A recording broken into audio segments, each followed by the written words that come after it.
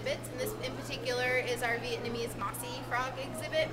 And now each exhibit is self-contained. Like I said, they're all individual, so we have 15 of these identical exhibits, and they all have their own water system going on. So what we have here is all of our plants that are in the um, exhibit are all real, and so they do need to be watered. And so each of these tubes leads to these pot plants right here that we see um, that house the plants. And so all I have to do is flip this switch right here and that turns it on and it'll start sending water through each of these tubes to the plants. And I run that about every other day um, until they're nice and moist and then I'll shut it off. So about four or five minutes and then um, shut it off and then it'll be good for a few days.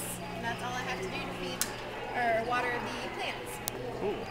Now when it comes down to this, this is the entire uh, water reservoir for our frogs and so all of their water is filtered through this and filtered back up into the exhibit. This exhibit right here has about 60 gallons of water in it and so um, if you imagine some of that water does evaporate and so I have to make sure that the water always comes back up to this fill line and it never goes uh, too far down because then it, it'll start to dry out. Also, if you guys notice back there, we have our bio wheel.